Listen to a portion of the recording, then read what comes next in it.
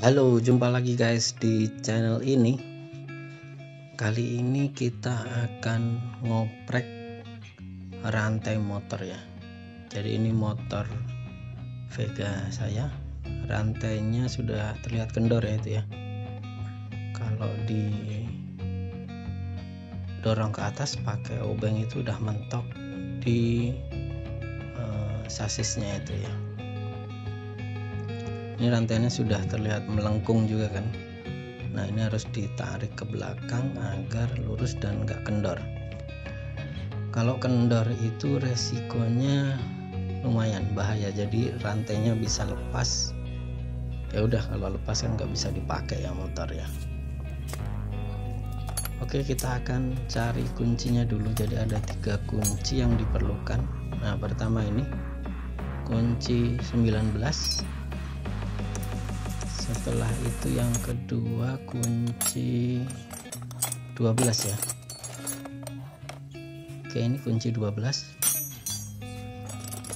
satu lagi kunci ukuran 10 dua tadi kunci ring satu kunci 10 saya pakai yang kunci pas saja karena punyanya itu.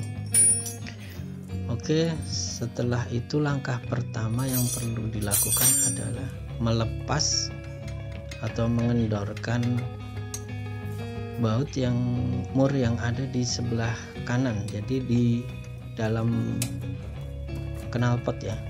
Ada di sisi dalam knalpot kita kendorkan.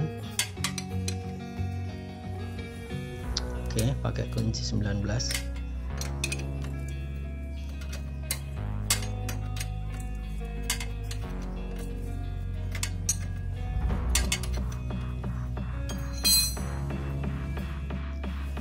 itu kita pindah ke kiri lagi ke sisi rantai berada. Nah itu ada penariknya yaitu ya ada penyetelnya. Itu akan kita tarik ke belakang. Kita bersihkan dulu ya. Jadi ada ukurannya itu ada 1 2 3 4 5 ada 7 bar ya. 7 bar. Sekarang posisinya ada di bar kelima lewat dikit. Kita akan tarik ke posisi 6 garis ke 6 atau 6 kurang dikit mungkin ya.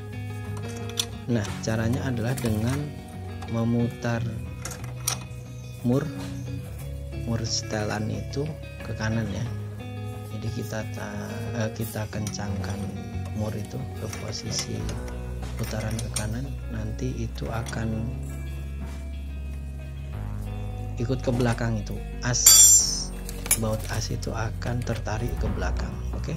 Nah ini kan tadi ada penandanya itu sudah mendekati 6 hampir 6 walaupun belum sampai 6 nah udah terlihat lebih kencang kan ya.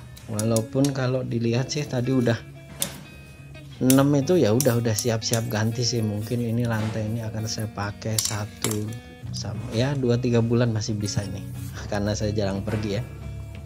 Oke setelah itu ya nanti kita ganti satu set gear dan rantai. Jadi gear depan belakang kalau ganti itu harus seset biar sinkron. Kalau enggak malah uh, salah satunya akan kemakan rugi itu.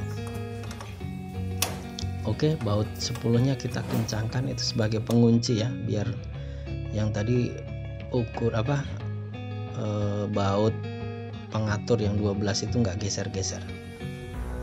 Langkah yang sama kita lakukan di sisi kanan yang dekat knalpot jadi pakai kunci 12 setelah itu kita kencangkan yang baut 10 nah kadang kalau baut 10 itu kalau sudah kendor sih pakai tangan dulu bisa. Nah untuk mengunci terakhir baru pakai kunci 10 ya. Nah ini masih bisa pakai tangan. Terakhir kita kunci pakai kunci 10 biar kencangnya maksimal. Oke nah itu sudah ada di bar atau baris ke 6 ya 6 kurang dikit ya sama dengan yang kiri kita samakan. Terakhir kita kencangkan mur yang ukuran 19 tadi. Oke jadi udah gini aja.